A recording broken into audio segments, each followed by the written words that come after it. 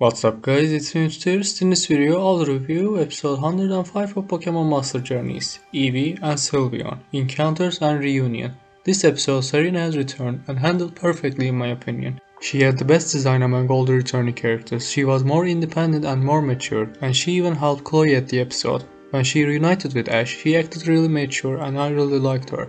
I want to see more of her.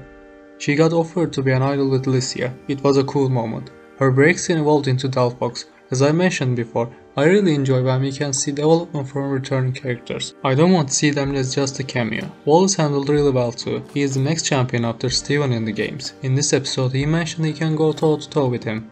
He watched all of Ash's matches and he challenges him even he is not a part of the championships. I really like that. Ash won against him. Wallace gave him a rain badge and the scarf he is wearing for his victory.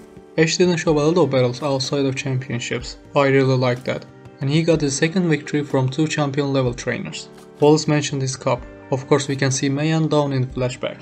Lisia had no impact in this episode, Chloe was better with Serena's help. Contest was just like the Kalos performing, it didn't have any battle, it was weird.